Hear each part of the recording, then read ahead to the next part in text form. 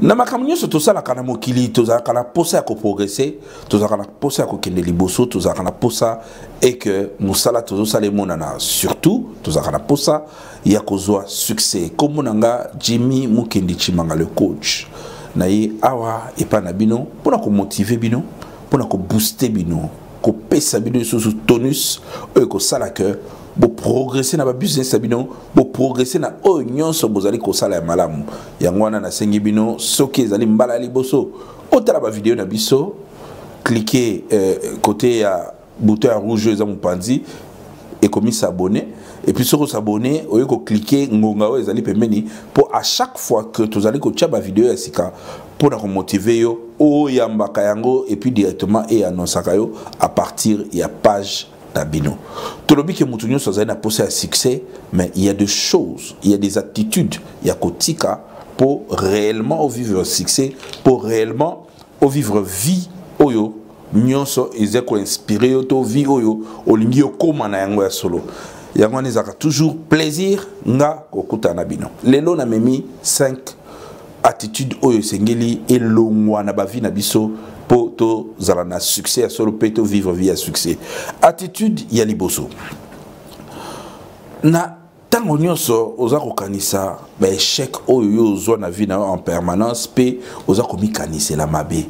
le fait que na vie tu penses toujours à tes échecs tu penses toujours à des moments que tu as échoué. À chaque fois, on se retrouvera à Liboso, il y a Moutupon interview à Moussala. Tu te rappelles l'interview à Liboso, Sala, quand tu étais stressé, tu étais malade et tu avais la truie de ta vie. Si l'élo, à chaque fois, tu va baigner quand interview à Moussala, au Bangaka. Ceux qui ont ça examen, au Bangaka, Makamounion, Samabe, yo. Même les chrétiens disent, celui qui, qui est devenu en Christ est devenu une nouvelle créature. Toutes les choses anciennes sont passées et tout est redevenu nouvelle. Si tu veux être un homme à succès, tu n'as qu'à vivre ta vie ndenge ça. au lieu okanisaka toujours bapasi okanisaka toujours badifficulté okanisaka toujours là où tu as échoué ezali attitude moko ya malamu te ndeko na nga si tu veux évoluer de succès en succès prends le temps de te pardonner toi-même et puis fais la vie ndenge ezali kopesamela yo affronte les nouvelles choses avec baattitude ya sika avec bolamu ya sika deuxième attitude oyo esalaka que mutu a se retrogadaka to mpe mutu euh, akoki kozwa succès te na baatitude wana eza oyo na kinshasa tobengaka kinienga tu es trop plaintif oza moto olelaka lelaka trop likambo ezala ya malamu ezala ya mabe olelaka kaka tu te plains de tout tu te plains de, de, de rien à la fin na vie si tu veux être un homme à succès une femme à succès tika milelo milelo na yo dit toi esalaka eloko te ebakiselaka yo eloko te au contraire bato balingaka yo te ntango olela basekaka yo yeba ke la plupart ya bato oyo balukelaka yo mabe soki ozolela kokanisa te kolela wana epesaka bango susi après ntango osisi kolela babaluki babandi kotonga yo soki yo echoue bakoseka yo kaka na bato baza no pembeni kaka na baninga na yo kaka bandeko na yo ezali nature humaine donc les gens n'ont pas besoin que tu pleurniches à tout moment longola attitude wana zwa attitude de gagnant attitude casus clay attitude ya moto akendaka de l'avant un boxeur apesaka makofi na ndenge asima te makofi batindika yango kaka liboso tindika makofi ya desordre kende liboso c'est alors que tu vas, tu vas gagner je ne vois pas un boxeur à côté na ring à croiser les bras et puis na suka zui coupe donc soki yo olingi okende liboso ozwa succès o évoluer na oyo ozosala tindika makofi pusana liboso tu verras que ta vie va changer d'une certaine manière attitude mosusu oyo ya koevite ezali jalousie ya baninga oyo bazwa il y a un adage qui dit si ton proche ou si tes proches commencent à avoir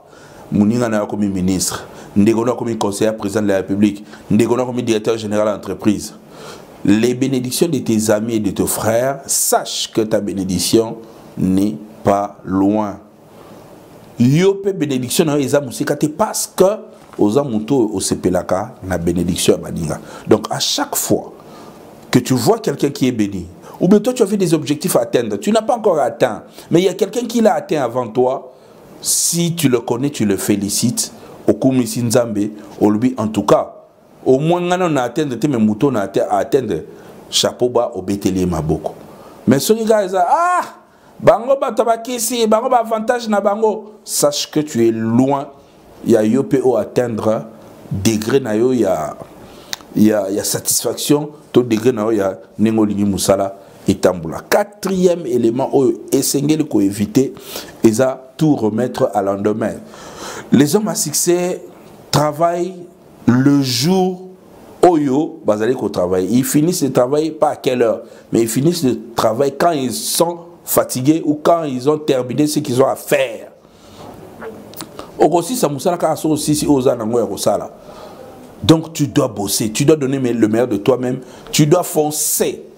parce que mutu oyo akotikela yo azali te concurrence mpe elobi ngai oyo donc na badomaine ebele tosaka na vie concurrence ezalaka sache que quand toi tu néglige ton concurrence sacrifice enui etango obimisa meilleur résultat oleli sima oyo olobaki non o oh, ngai na otravaille bien te o oh, ngai na aliso na baclient te non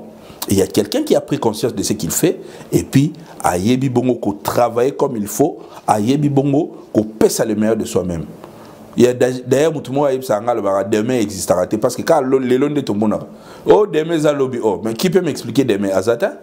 nani kati na biso akoyeba mpenaki elobi eloko boye koleka alobi elo aza te demain ça n'existe pas lelo nde motu existaka parce que je peux justifier que je suis en train de vivre maintenant et ici mais je ne peux pas justifier que demain je veux vivre. Je ne peux pas justifier que demain je veux faire. Donc, attitude, il y a baoyo baza makasi ya baoyo baza bahomme à succès c'est de faire aujourd'hui et d'aller loin des français oza na temps ya kotikela mutu te cinquième attitude oyo esengeli oyo éviter mpe ya suka ezali bongo koentretenir une mauvaise image de soi-même même psychologiquement si tu entretiens une, une mauvaise image une mauvaise image de toi-même c'est très dangereux parce que tu dois apprendre à te pardonner parce que bacicatrice oyo etikala na nzoto na yo bacicatrice oyo etikala na mitema na yo tu dois apprendre à laver et puis akodevenir motu moko ya sika clean et quelqu'un qui est oyo nde babenga mikolo bio oye propre na société mpo na koimplémente baidée ya sika oyo oza nango n'hésite pas quand tu as une nouvelle idée ya kotya yango en place ya kopropose yango bato ya kosolola yango na baninga ya koluka ndenge ya koevolue na yango c'est très important pardonne toi à toi-même n'entretiens pas une mauvaise image de toi ah eloko nga kuna akoka te qui t'a dit osutuka bobeti boye tu es le obimi meilleur ya bato nyonso yoka ti baoyo nyonso babima meilleur babima meilleur ndenge nini ese erreur malembe malembe ozosala kaka parce que bato ebele tomona bavi na bango à l'extérieur baprésident de la république bastar à hollywood bajoueur tomona bavi na bango de l'extérieur c'est-à-dire ntango abeta bale mais vi na ye ntango alamuka na ntongo réalité oyo avivaka oyo nde toloba mama ma mpo akutanaka nde na coin chaque jour réalité na yo oyebi te or réalité wana mpo vivre yango bien yo moko il faut ozala même moral na yo moko mpo obunda okoma moto ya succès c'était jimmy mukendi le coach votre frère pour vous booster, vous motiver, enfin que vous puissiez devenir la meilleure version de vous-même. À très vite.